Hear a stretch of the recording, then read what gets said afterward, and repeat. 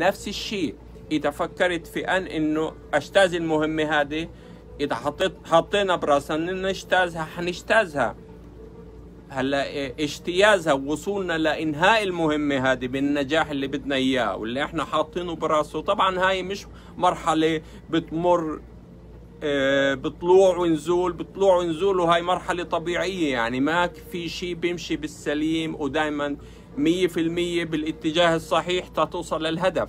في ناس ممكن يوصلوا للهدف بسرعة لأنه عندهم مهارات وعندهم مكونات بس في ناس تانيين ما عندهم هاي المهارات بوصلوا للهدف بشوية تأخير يعني باخذ منهم وقت أكثر هو نفس الامتحان ونفس الأسئلة. في ناس ممكن يدرسوا خمس ساعات عشان يجتازوا الامتحان وفي ناس ممكن يدرسوا ساعة عشان يجتازوا الامتحان. بس اثنين بيجتازوا الامتحان.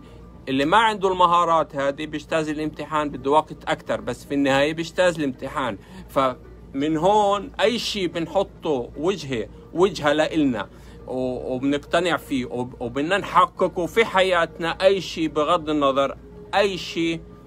إذا اشتغلنا على الموضوع هذا ووضعنا الهدف دائما قدامنا بنشتغل على الموضوع هذا وحناخذ اللي بدنا إياه. حناخذ اللي بدنا إياه بس الموضوع بده صبر بده محاولات بده طلوع وهبوط طلوع وهبوط طول الوقت. بس بده يكون هذا بيعتمد على قدرتك على التحمل فقط إنك تحصل على الشيء هذا. إذا بدك تحصل عليه بتحصل عليه. بيعتمد. قديش بتقدر تتحمل؟ قديش بتقدر تصبر؟ قديش عندك استعداد تعطي وتشتغل على الموضوع هذا لأنه موضوع متعب وقديش تضحيات ممكن تضحيها عشان تحصل على الموضوع إذا أنت مستعد تقدم كل هذه الأمور حتحصل على. على كل شيء بدك إياه في حياتك